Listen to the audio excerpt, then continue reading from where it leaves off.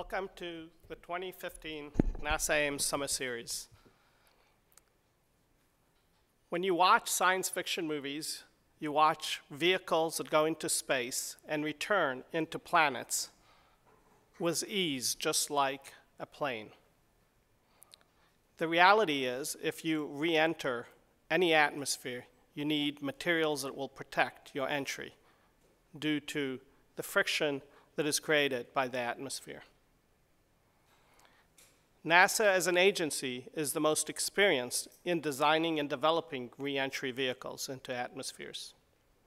And we're currently working on the next vehicle that will take us beyond low Earth orbit. Today's seminar, entitled Burn to Shine, Experience and Lessons from the Orion Heat Shield, will be given by Jeremy Vander Kam. Jeremy has a degree, a bachelor's of science in aerospace and mechanical engineering from the University of California at Davis. And then he went on to get a master's in science and engineering from the University of California at Davis. After that, he has joined us here at NASA Ames, first as a contractor and now as part of the team. He is currently the Deputy Thermal Protection System Manager for Orion. Please join me in welcoming Jeremy Vander Kam.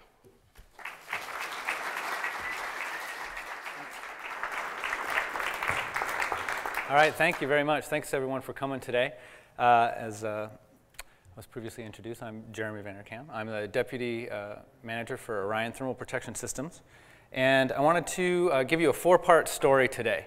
I'm going to give you a little bit of background about Orion, the program, uh, then some overview of the manufacturing experience for the heat shield that we had on the Exploration Flight Test 1, EFT1, that we just flew in December. I'll talk a little bit about that flight test and the post-flight uh, analysis that we've been doing, and then talk about how we're advancing forward into the exploration missions or the EM missions that come beyond that. And uh, you know, I, the, the picture there is of me looking at the EFT1 capsule just on the day of recovery. And in the same way that I appear to be looking at awe in that capsule, sometimes I look back at the whole journey to this point with a little bit of awe. So I hope to share that a little bit with you today.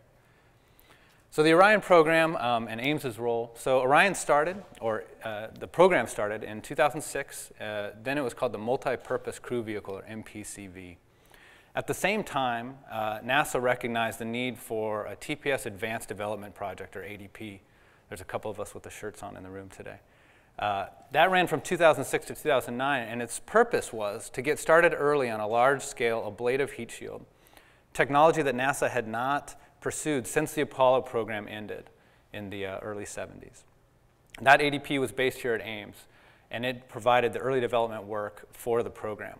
Uh, in 2009, the Orion contract itself was awarded to Lockheed Martin, who then took on the work. And Ames has continued to support that work with uh, ArcJet testing, thermal and structural analysis, material development, technical leadership, and continues to do that today.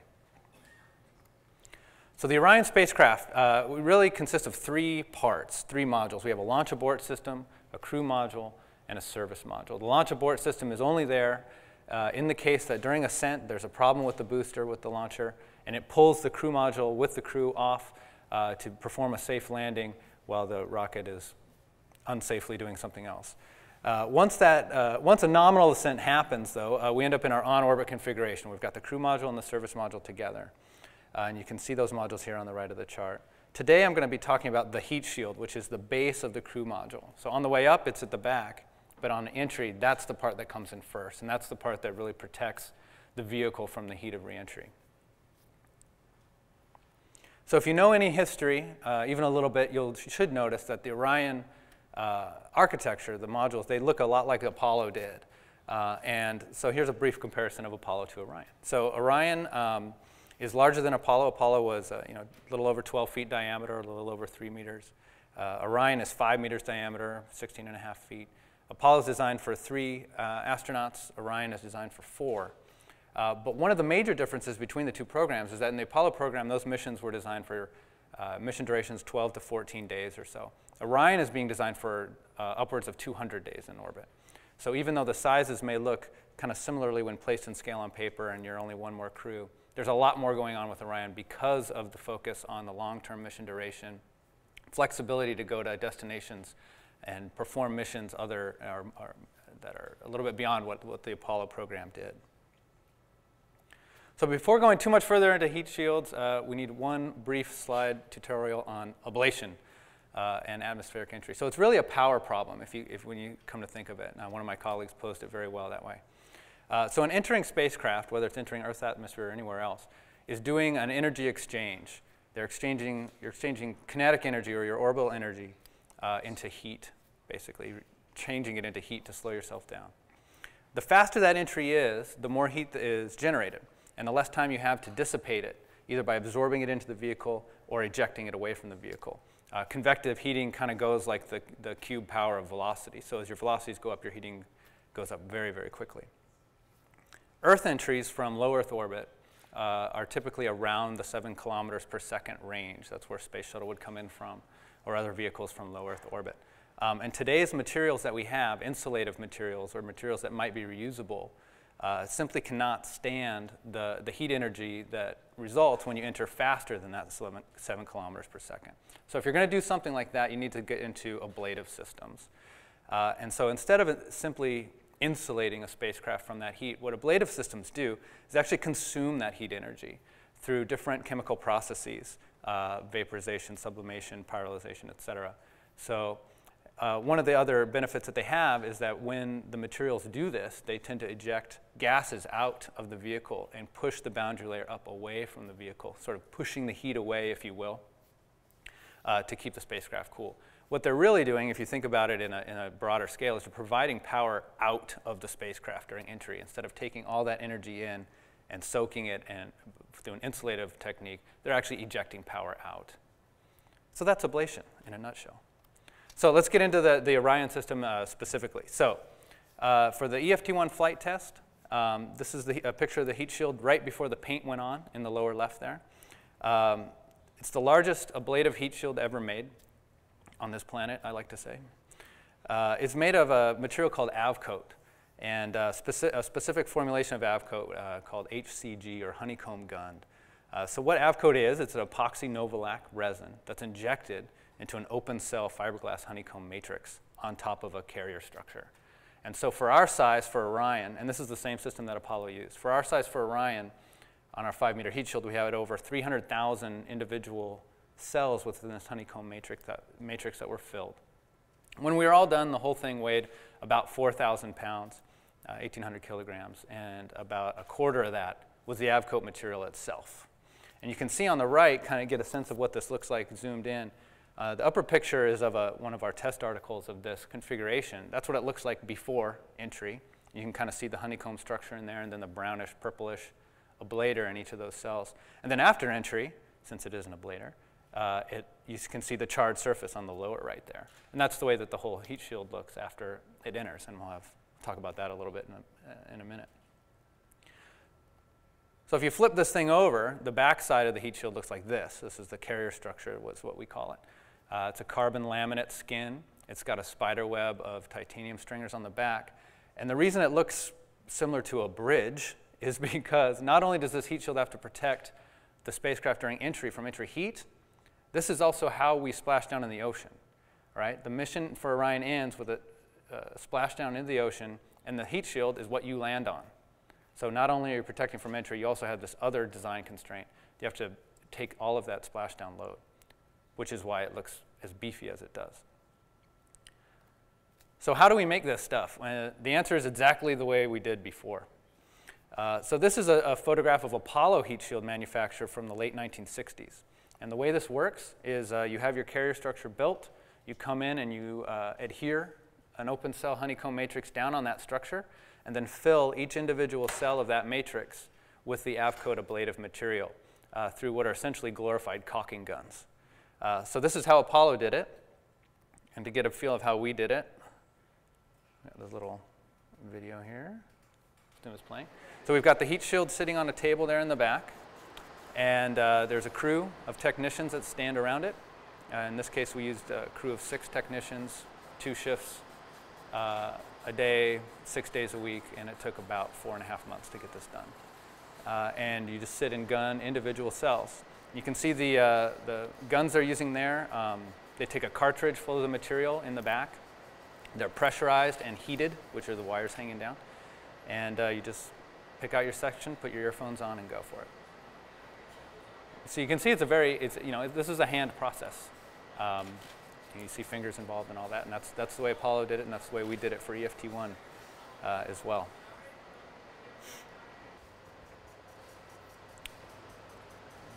Let that finish out. So there you go.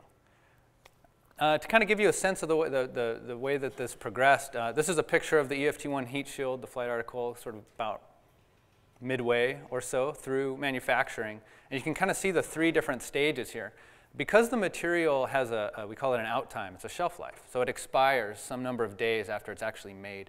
You have to use it by that time and cure it by that time, otherwise it, it becomes bad. Our heat shield is big enough that we can't do the whole thing in one go with one batch of material, so we do it in sections. So we have, uh, on the top there you see a picture of unfilled honeycomb, so that's the honeycomb matrix laid down on the carrier structure. The purpler sections are areas that have just been gunned and have not been cured yet, and then the, the more tan sections have been cured. So you lay down your honeycomb, gun a section, cure, gun the next section, cure, gun the next section, cure, and move on like that. And then at the end of the day, there's one final cure at a higher temperature to kind of lock the whole thing together, which will become important in a, just a minute.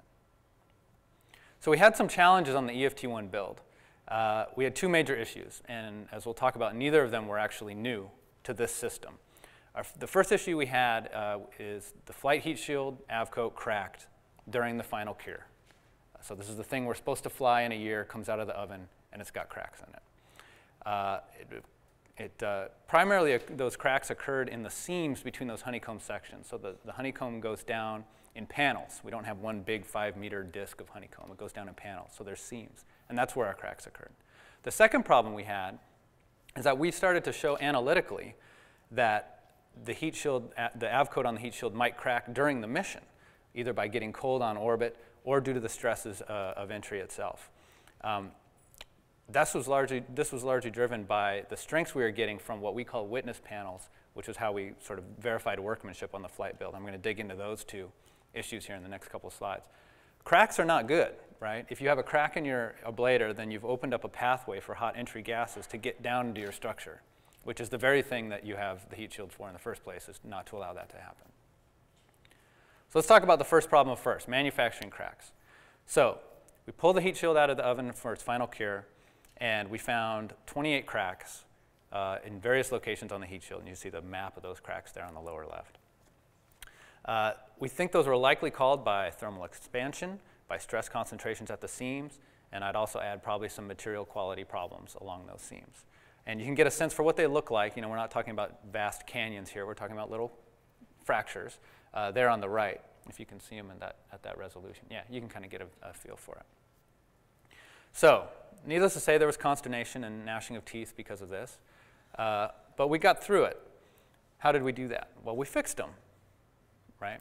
One of the things that we got by using a system that had been done in Apollo was a whole set of specifications for how to fix problems. So they actually had repairs for this type of issue already specced out to use. And we did, we implemented those repairs. Now, because things were a little bit different and because you always check somebody else's work, we went ahead and certified those repairs for our own flight in our own way.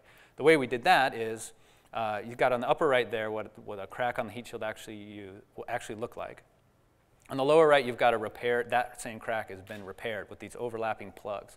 On the side, what we did is we built up test articles with the repairs in them, in this case, ArcJet test articles, with overlapping plug repairs. We tested them in the ArcJets, took them out, checked how they worked, checked all the temperature data, and they were all fine. So we certified the repairs for flight as well as the, the pristine system. So I mentioned that we got some of these spec repairs from Apollo. Uh, when this happened, um, one of the things we did is we actually commissioned different folks around the country uh, to go and photo survey whatever crew modules we could get to in, in the various museums. And it turns out they're basically all there to go look at and photo survey. So we did that. Um, and these kinds of repairs are on every single Apollo crew module that you can go look at. They're all there, uh, lots of them.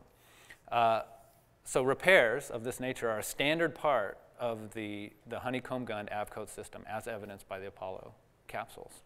Um, didn't make us feel better at that time, but it is something worth noting. And we're going to talk a little bit about that too. So the second problem we had was we were actually predicting that the ablator could crack, or we call it negative stress margins, uh, during the EFT1 flight. Um, but it was impossible to verify uh, whether or not that was true on the full flight article, right? If you think about a five meter heat shield sitting there that you've basically built in situ or in place, put your honeycomb down, gunned it, and it's done. We, we don't have a way to test that, to bend it, pull on it, heat it up, cool it down in the same way that we expect to happen during the flight itself. So we have to rely on side uh, methods or, or coupon bench level tests to do that. The way we did this on the flight build is we used something called a witness panel. A witness panel is a panel that sits off on the side. You can see it here on the left in the green circle. Where am I lost it? There it is. The green circle here on the left. So you'd have the technicians gunning the ablator into the heat shield. After some time, they'd turn and gun some into the witness panel. Then they'd turn back to the heat shield, then back to the witness panel, back to the heat shield. And so the idea is, is that this witness panel on the side is representative of what's being done on the flight article.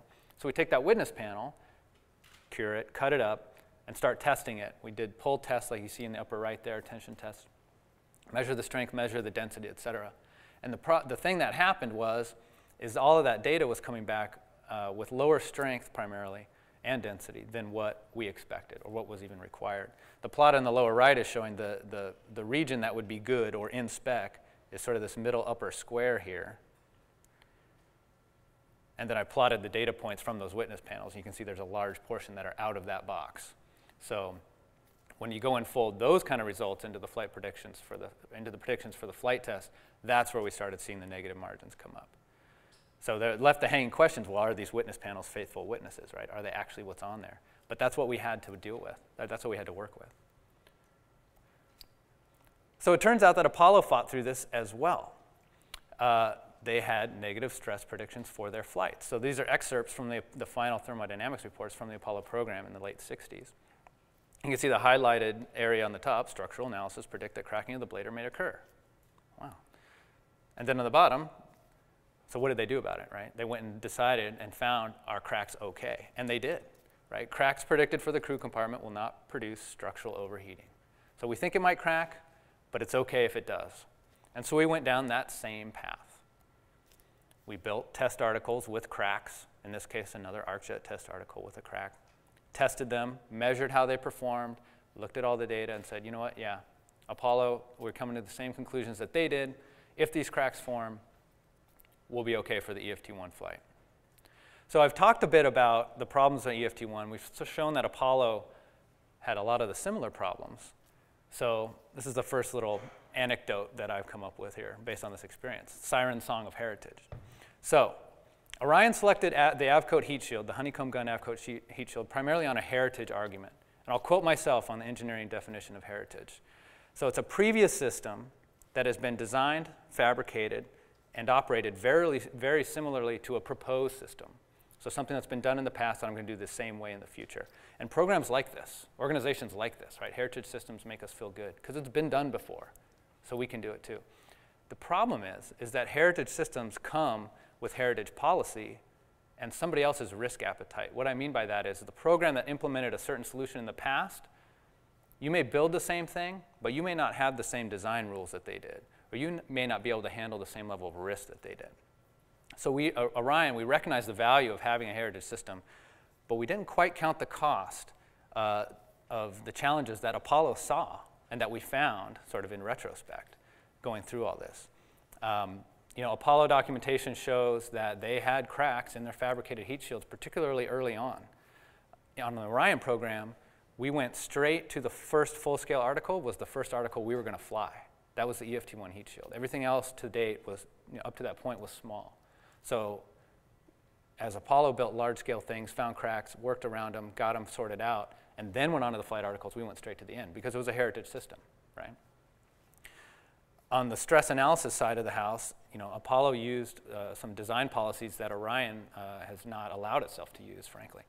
Uh, and I'll talk about that a little bit in the past too. And that kind of got us into the pickle we were in with the negative margins and having to show cracks good in the same way that they did. But needless to say, the EFT1 flight test was a success. So let's section to part two of the story, or three, if you count the overview. So exploration flight test one, December 5th, 2014, two orbits around the Earth, about a four hour duration. First orbit, uh, very low orbit, Second orbit kicks out to uh, almost 6,000 kilometers. To give you a sense of things, this, the uh, International Space Station orbits at about 400 kilometers. So we're out at six. The moon's at 384,000 kilometers, so we're not quite there. But we're quite higher than, uh, than the typical low Earth orbits that you see. The reason we did this was to test the, the, one of the main reasons we did this was to test the thermal protection system, to test the heat shield. So we entered at about uh, pushing nine kilometers a second.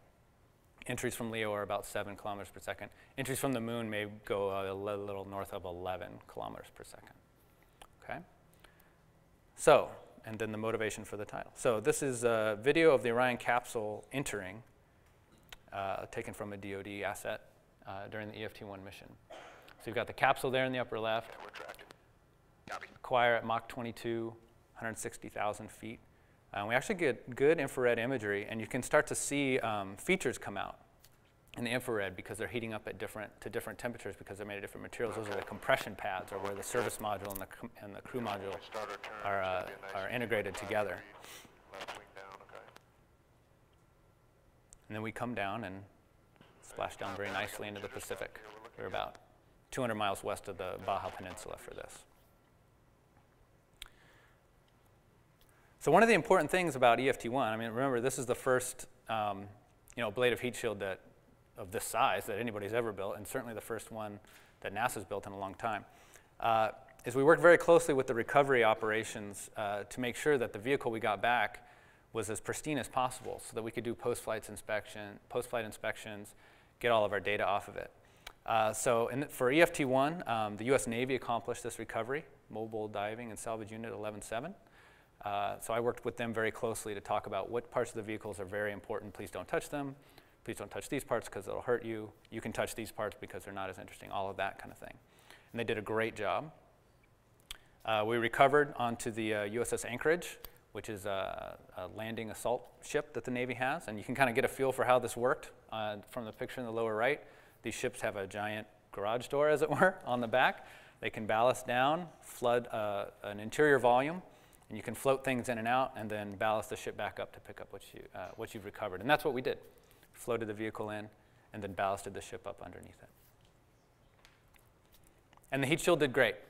So this is one of the first images we got once it came back from a diver in the water before anyone else touched it. Um, and we've got you know, photo surveys that have happened almost at every point now since, that, since before flight to in the water to on the ship to you know, back at KSC and so on and so on. So we can compare what's happened to it to make sure anything we see is because of the flight or, and not because of somebody dropped a hammer on it afterwards or someone you know, nudged it or from recovery damage and all that. So we've been very careful about delineating all that. So here's what the heat shield looks like, or looked like, uh, after the flight. Once we got it back, took it off the vehicle. Uh, this is down at Marshall Space Flight Center, where we did um, our post-flight sample extractions. So there's a couple interesting features to point out. Um, the stagnation point there, or the point where the air theoretically comes to a stop uh, as, the, as the vehicle enters, is over on the right. It's offset from the center because we have a lifting entry. So the vehicle comes in with an angle of attack. It's a, it's a lifting body. Um, and so all the streamlines uh, emanate from that point. You can see features like um, transition wakes here.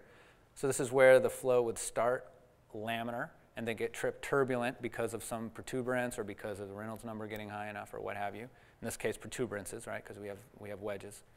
Um, we have damage from the recovery uh, process here that we see. And then you can see our repair plugs, these lines of the white circles uh, are, are all the repairs we made to those cracks that we talked about before. So what we've done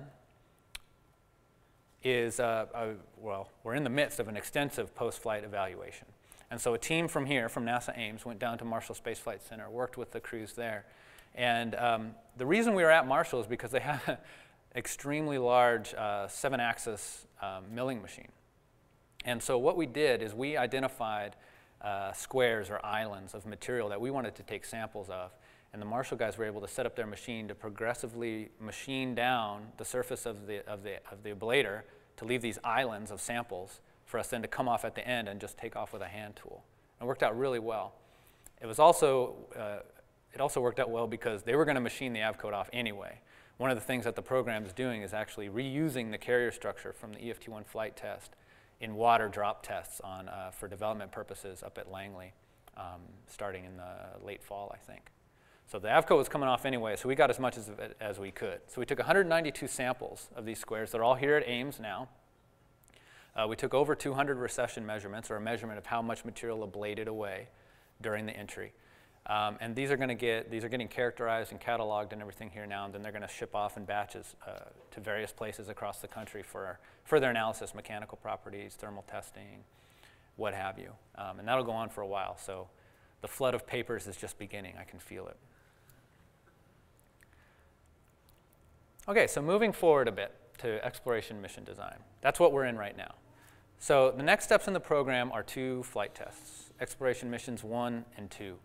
Uh, exploration mission one, or EM1, uh, is set to go off in 2018 or so. Right now it's being characterized as a distant retrograde orbit, or a DRO. And this is an orbit that actually takes apogee out past uh, where the moon is, so past 380,000 kilometers or so. Um, there's a couple reasons for doing this. Uh, one is to demonstrate heat shield capability at entry speeds that are up around 11 kilometers per second. There's uh, test objectives about radiation protection that far away from Earth. And you get to say that it's the furthest out that any human capable spacecraft has ever been from Earth. So that's nice. Uh, then we have EM2, which will be the first crewed mission of Orion, which is set around the 2021 timeframe. And that'll be, uh, you can think of it as a refly of Apollo 8. So it's to the moon, orbits around the moon, and back. All right, and that'll demonstrate crewed operations. So we have these two missions coming up. We just had a flight test. We built a heat shield a particular way, and we're going to change it. So you may have noticed, uh, seen some of the uh, uh, media come out back in November about changes to the, to the heat shield architecture, changes to the way that the AVCOAT is put on. So why would we do this? Let's talk about it. So motivations for a new ar architecture, in this case, uh, and I'll outline it a little bit, blocks of AVCOAT instead of this honeycomb gun system. There's two main motivations. One is technical. We talked a little bit about the challenges we had with the EFT1 build. Can we improve the manufacturing enough? Not have cracks during cure? Can we improve the material strength enough so that we're not predicting these negative margins all the time? The EM flight uh, loads are higher than the EFT1 flight loads. so we have more of a challenge to go there. The second motivation is programmatic, particularly schedule. So fitting the honeycomb gun architecture into the program schedule box has proved problematic. And a lot of that is because the honeycomb gun uh, manufacturing process is serial. So you build your carrier structure, you put your honeycomb down, then you gun all the ablator in, and then you cure. And you can't do one step before the other or in parallel with the other. They have to go serially because of the way that it works. If you came up with a system where you could build things in parallel, you would save time. So the thought is, what if we made blocks of this Avcoat ablator? Don't put it in a honeycomb. We can make those in parallel with the carrier structure. We have to install those blocks, but that will take less time than it does to install the Avcoat on a honeycomb gun system, so we'll save time and fit ourselves back into the schedule box we've been given from the agency and at the end of the day from Congress, right? So what is this architecture? So we're not changing the ablator, right? It's still avcoat, the same formulation of the ablator. But instead of gunning it into individual honeycomb cells on a carrier structure, we're molding it into blocks to do that in parallel with the carrier structure. Same ablator, molded into blocks instead of gunned into a honeycomb. And then in between those blocks, we're putting uh, RTV or uh, room temperature vulcanizing adhesive uh, in between. So you can see how this might play out on the Orion heat shield on the lower left, about 300 or so of these blocks. And there's some precedent for this in the past, right? Tiled systems have flown, certainly. Uh, SpaceX is flying an ablative tiled system right now. We already talked about heritage and the problems with that. Is that system sufficient heritage to say this one will work? Time will tell, right? So what are some of the advantages and disadvantages? Well, advantages of a block system, and particularly this one, um, is that you've got what we'd call true acceptance testing and verification of the ablator before you commit to putting it on the carrier structure. So remember with the honeycomb gun, with the EFT1 heat shield, the honeycomb gun architecture, we had these witness panels that we had to presume were faithful representatives of what was actually on the flight vehicle. With a tiled system, you can make the, the, your flight tiles or your flight blocks, pull on them, test them, make sure that they're good before you actually put them down, right? So you know what you've got. That's one advantage. Parallel manufacturing we talked about. Cheaper fabrication costs because of the reduction in labor time is a motivator. Uh, faster test article production throughput, again, because you're molding things instead of gunning things individually into cells. Um, we've actually found that the molded ablator is stronger than the honeycomb uh, system. You can, in some ways, the honeycomb matrix actually is introducing little stress concentrations into an otherwise homogeneous material. Uh, and there's less density variations. You can control things at the molded block level as opposed to each gunner's hand that day or week into each individual cell. There are disadvantages. We've introduced a new system element, right? So now not only do we have the ablator itself, we have these seams between blocks, uh, an off often overlooked portion, but a very important portion. So we have to go characterize that. Will these seams work? Will they hold the blocks together? Will they ablate properly? Uh, the blocks have a less capable attachment system than that honeycomb architecture.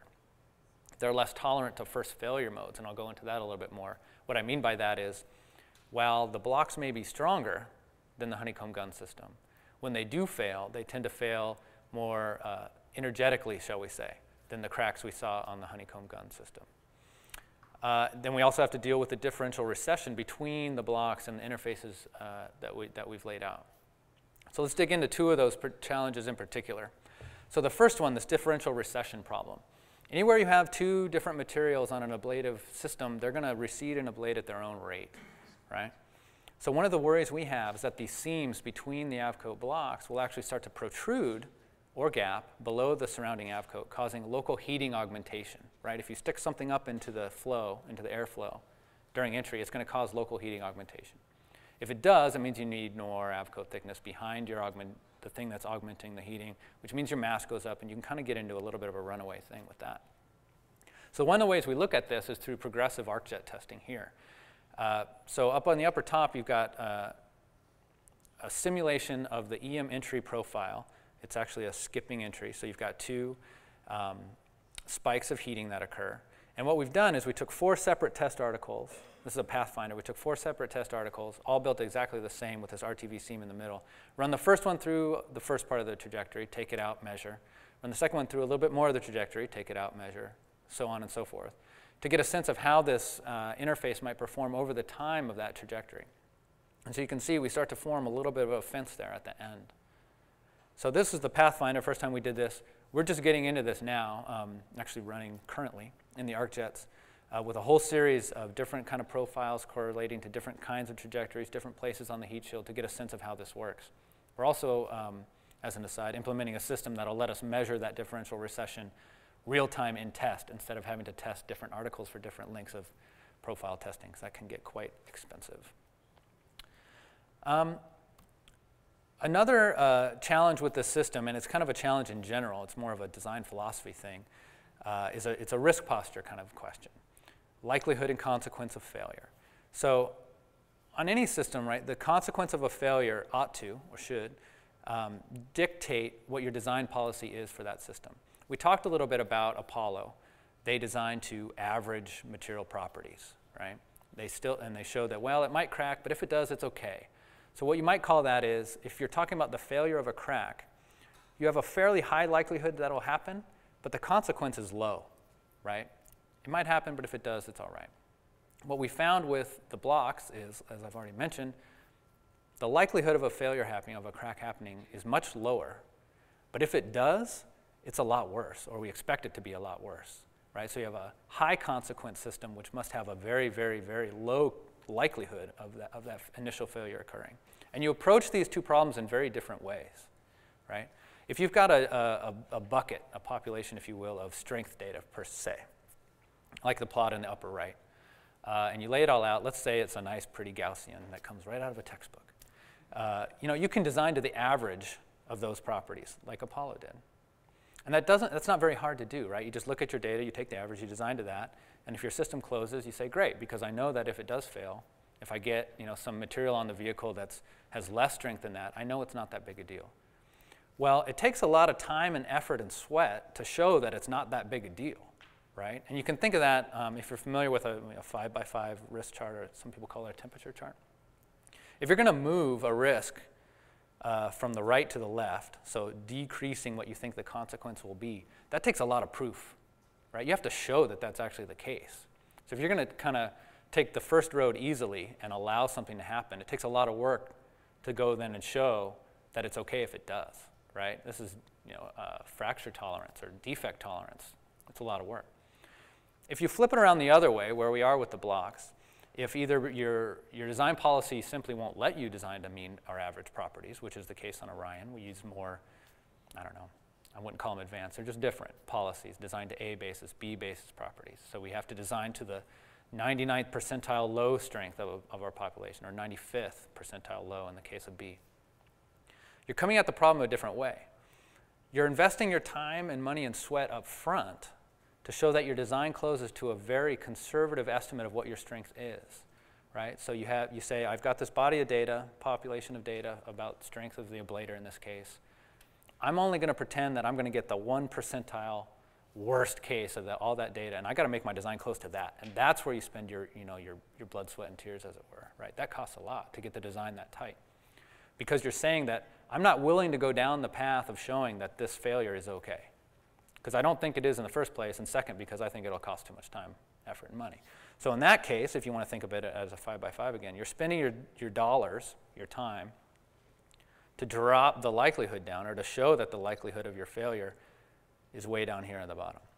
Now I picked this chart in, uh, for a reason, because where do those two triangles end up in terms of a qualitative risk? The same place, right? On this particular scoring chart. Different programs have different charts that score these differently. They could both be called high risk systems, but they're very different in the way that they operate, right? Okay, so my second cutesy notation, right? The dragon behind the smoke. So knowledge of a mature system versus the uncertainty of a promising new idea, right? So Orion, we, we built, uh, had challenges with, but still flew successfully the EFT1 heat shield, right? But it was enough of a, a technical challenge, there were enough program challenges that's motivated a change. So we had this challenge we knew, the dragon we knew, right? We don't want to fight that dragon. We want to give me a different dragon. Well, we've got this other one that we think might be good, but it's kind of clouded by immature design, right? We're not sure what we're going to get into yet. And when you first start out, that's always the case, right? A proposed system is always less known than a, than a known system, right? It's obvious. And when you start to kind of brush away the smoke, you might find a different dragon than the one you initially thought you had, right?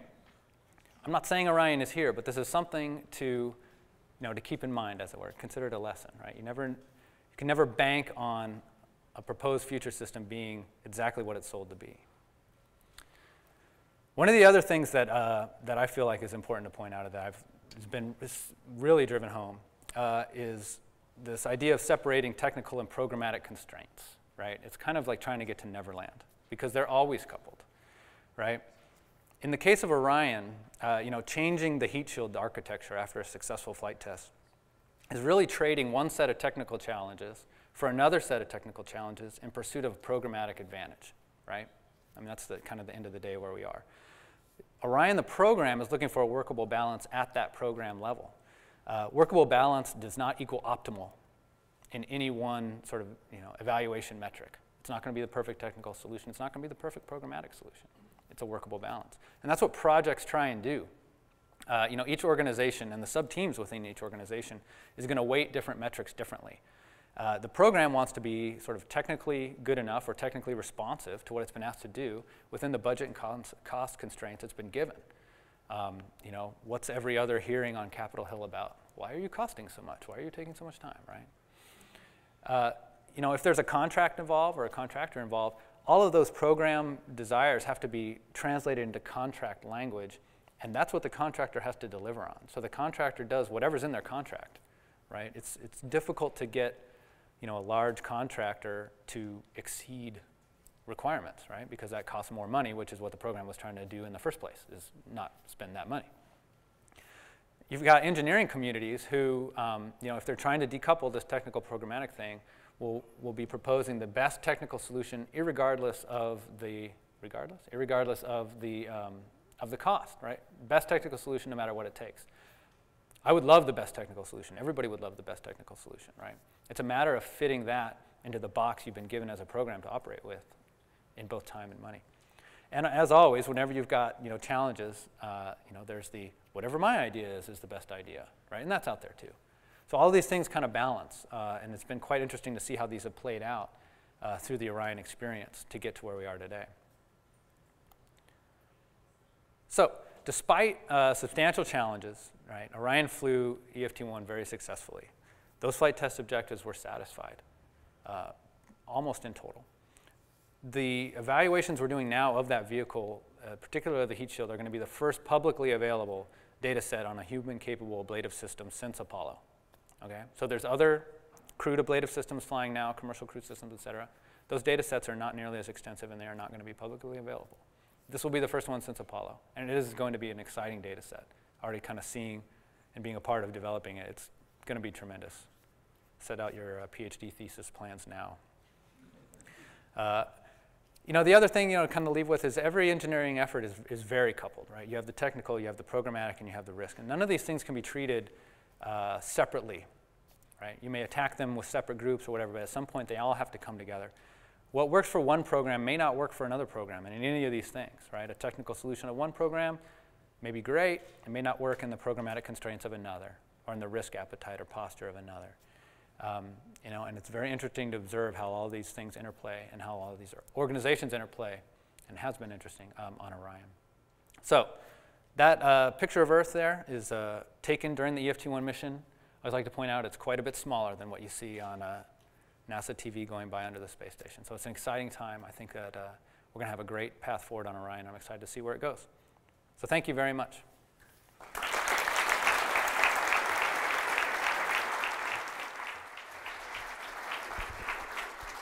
So now we would like to take some questions. Please make a file in the microphone in the center aisle and ask one question. Keep it short and succinct, please.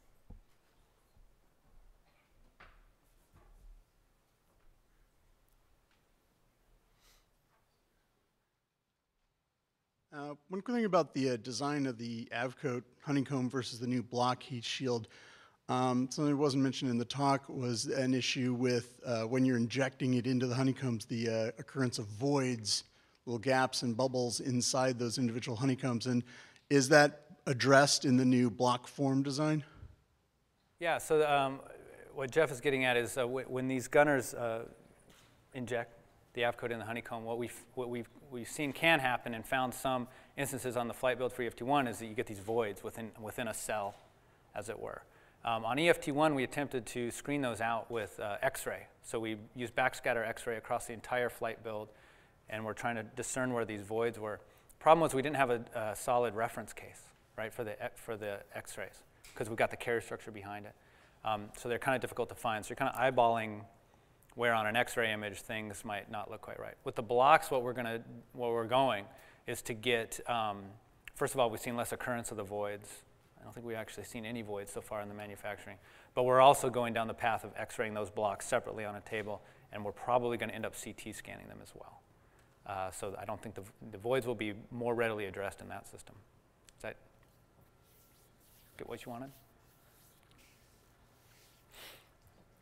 So while, while we're waiting for the next question, um, I'd like to switch places with you. Okay. Um, I have a, a question about um, the the most technical, the best technical solution. Would you recommend um, for future missions, is it possible for commercial industry to find these, or do you recommend the path that NASA has developed through the space heritage and maybe can expand on, on that topic? Sure, yeah. Um, yeah, I think it's definitely possible that the commercial programs could find solutions, you know, that would enable other missions. Is that kind of what you're getting at? Yeah, that would enable other missions. Um, that's not what they're required to do right now, right? Their, their contracts are for space station resupply and crew rotation. So that's what they're working to. And those are the, the solutions that they've selected are to answer those missions uh, within their cost and schedule boxes, right, that they've been given. There's nothing, um, you know, I guess what, the way I'd say it is within the, the way that the commercial crew programs have been set up, they get a lot of help from NASA. NASA provides a lot of expertise, particularly in the TPS area. So in the same way that that expertise has been given to them to do the mission they've been asked to do, uh, you know, if they were to set out and do an exploration mission, a more capable heat shield or something like that, they'd receive that same help and they could probably go do it. So with the tiled solution, um, is the material in the seams necessarily expected to also be ablative, or is it merely i- must it be ablative for the system to work? Or I saw the, I mean, we had the, the demonstrations, but must those, those joints also, is, is that required as part of the whole heat transfer of the system? Uh, pretty much yes. Yeah. So um, if in the hypothetical case where we had seams between blocks that didn't ablate at all, then whatever heat got into those would conduct directly down to the structure instead of being consumed through the ablation process. So you'd call that a thermal short, as it were. But then also because we want to keep the surface as smooth as possible uh, so that we don't have local heating augmentations, if one part's ablating, you kind of want the whole thing to, to be that way so that you, you kind of keep the, uh, the OML, the outer mold line, as smooth as you can. Jeremy, thank you very much. That was an outstanding talk. Um, I'd like to know how much extra mass margin you think is on the heat shield because of our inability to exactly predict, model, simulate, and ground test the thermal and structural loads on the system. How much could we take off if we had a perfect predictive capability? I'll be able to answer better when we're done with the E EFT1 post-flight analysis. Um, you know, to eyeball it, just based on the margin policy we have, anywhere from 25 to 50% in thickness um, for a lot of different reasons, but probably in that ballpark.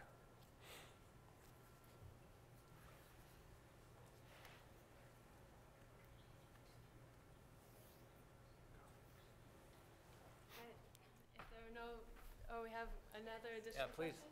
Um, I was just curious if um, you could give like a specific example on how to like mitigate the technical risk of the new tile system, like a just a specific example, rather than just saying it costs time, money, and sweat. Sure. Uh, yeah, I mean, the, the biggest, well, one of the biggest, one of the top two uh, issues we have with the tiled system is to verify that when those blocks are bonded to that carrier structure, that they do not come off, right? Because if a block comes off in flight, you're going to lose that vehicle. Uh, so that is, uh, that's probably our biggest challenge.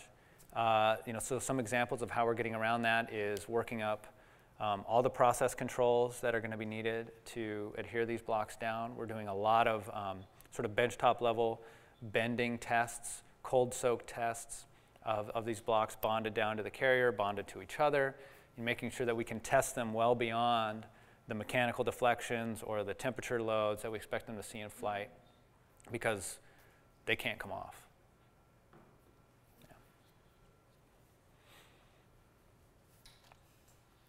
So you mentioned different speeds of reentry. I think one was nine nine kilometers, one was 11.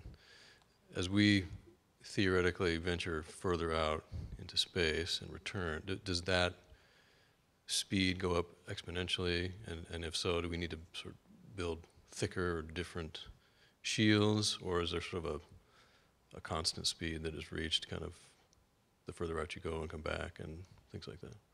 Uh, it keeps going up, right? So the speed you return is related to the, the speed of your, you know, your orbital velocity, which is related to the apogee away from the body you're orbiting.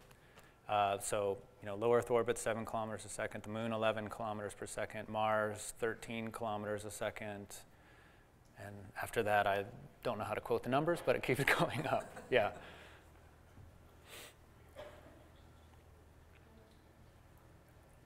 So, if there are no other questions, then um, please have um, additional conversations in the reception. We'd like to please um, thank our speaker one more time.